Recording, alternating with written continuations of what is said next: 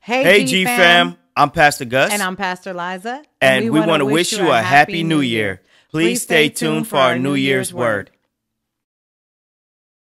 Hey, God's family, it's Pastor Liza, and I'm bringing you the word for God's family for 2023. The word for 2023 is I see miracles. The Father said to tell his people that in this year we will see more miracles in the kingdom of God, but not just the glory of God manifested through signs and wonders, but that God Himself said He will be able to see more believers, more of His children, the chosen, looking like Jesus, moving in the power of the Holy Spirit and manifesting his glory on earth. There will be more salvation, more deliverance, more healing, more prophecy, more people raising others from the dead, more wonders of heaven showing up here on earth, and more atmosphere shifting. There will be more leaders bringing the best of new wine in this year because they will be making true disciples of all nations. They will make disciples who become leaders of new wine lifestyles themselves. There will be more believers looking like and operating from the will of the Father, not the will of man. There will be more that are willing to feed the families, to restore what is broken in those that have lost their way. There will be more willing to leave false doctrine and bring more truth of the true Jesus this year. More of those willing to be used by God because they know how to follow Jesus. They've been through the purification process. And last year, the process that they went through in the year of the warrior was a success.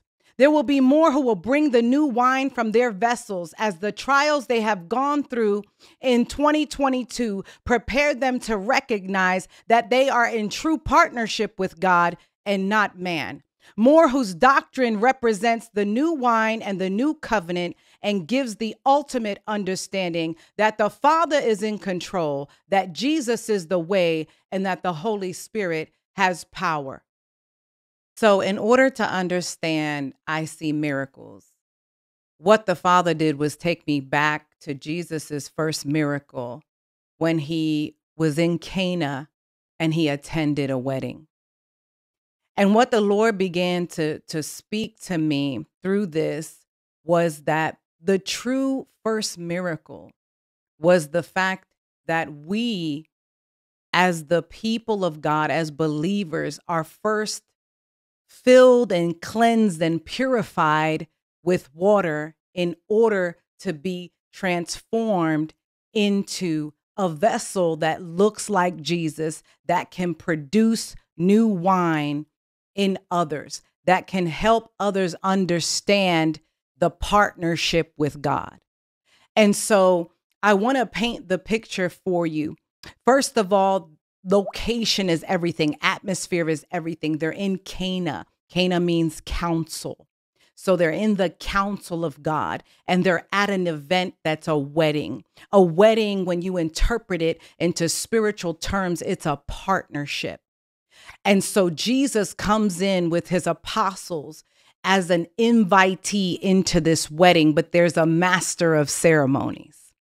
There's a master of ceremonies. But when he comes in, there's a problem. And his mother begins to tell him the problem is that that there is no more wine.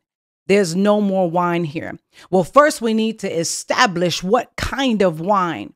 Well, the Bible shows in John chapter 2 verses 1 through 12 that it was called the best wine and that it had run out. To run out of anything first of all in a Jewish wedding uh first of all is a sign of disrespect. It's a, it's a something that you would not want to do. So this was imperative in this partnership that there was no disrespect. That there was nothing going on that can hinder the relationship between the bride and the bridegroom. And so they so mary knew she went to jesus who was man in the flesh, God in the flesh, but man at the time, and said, I need you to help because she understood what was in her son. However, Jesus said to her first, Woman, my time has not yet come because he had to go to the father to check to see when the solution to the problem was going to be brought. She said to the to the people that were with Jesus, the other servants, anything he tells you to do, do it. When he did finally speak to give instruction, Jesus said, I want you to fill the water pots that are there with water. Now, these water pots weren't only regular water pots. See, they were ceremonial. They were pots used for cleansing and purification. So when the water was put into them, they were filled up to the brim. And then Jesus, using the deity power within him of God, changed it into wine. That when it was given to the master of ceremonies, he said, most people, most bridegrooms wait. They give the best wine and then they give the cheaper wine later when their uh, guests have drunken enough. But you have given the good wine last, the best wine last. What was he signifying? See, in this partnership with God, man's wine will always run out. Man's wine, though it could be the best thing that he's giving, like they gave at the beginning of this wedding, though it's the best of man, it's not the best of God. But in order to give the best of God, you have to be purified. Your vessel has to be filled up with water. That's the Holy Spirit. That's representation of the Holy Spirit. Once it's filled up and it's purified, then the new wine can come. See, it was in the taste test that the master of ceremonies was able to taste the best of what came from Jesus. So, what God is truly trying to say to you, God's family,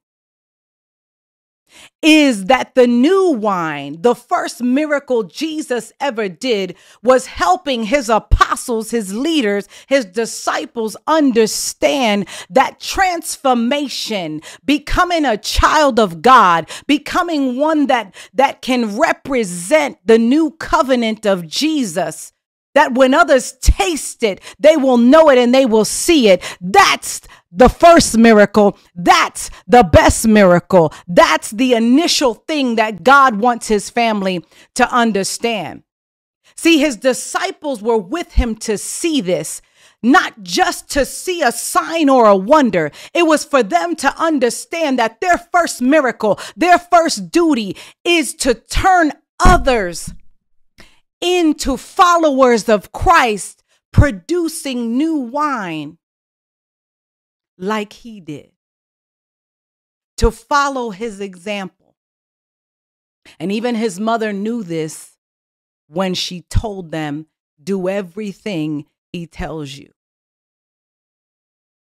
The wedding was a significance, family of God, that in the partnership we become one with God.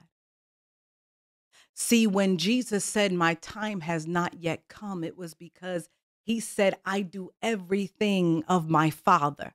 His Father had to tell him in man form that it was time.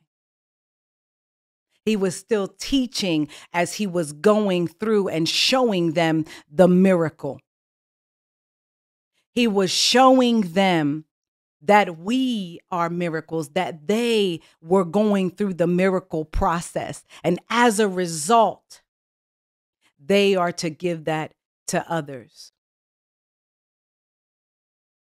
See, the first true miracle is going from being willing vessels, being purified, to producing the best of what Jesus has put in you to give to others. You know, the Bible says that becoming a Christian, becoming one who follows Jesus, is being reborn. And they said that when Jesus was born, he was the first miracle. So to be reborn is to re represent the birth of Christ, the Christ in you that others will see in 2023. So when God said, I see miracles this year for God's family, what he is saying is, I see more people in my family producing the best wine. I see more of my chosen producing the true miracles, which are more children of God, those who follow my son Jesus, those who can manifest my glory in my instruction. These are the remnant, the ones giving the people more of me because they have been purified, because they have understood how to partner with me, because they are the ones that's filled with the water of the Holy Spirit and now able to produce the best wine, not only in themselves, but in others. That others, when they see and taste, they will know that I am good. They are now able to do what my son Jesus did when he was on the earth. They will be able to produce the miracles that he was doing and then some, as he stated. They will be helping others to transform into the first miracle. And as producers of the best wine this year, those that are chosen, those that are leaders will see that this new wine in 2023 will bring the best to come yet in your journey with Christ because it's not coming from man, it's coming from God. And this is the meaning of the two shall become one. God's family, I hope that you receive. I hope that the Father will see you as a miracle. I hope that you will begin to see the miracles in others, that you have had a hand in giving them the new covenant, giving them more of Jesus, giving them the truth of the doctrine that is Christ. And that I pray that you would manifest the glory of God into new heights and new dimensions in this year because you are capable of it with God. With God, all things are possible. God bless you, and we wish you a very, very happy new year in Jesus Christ.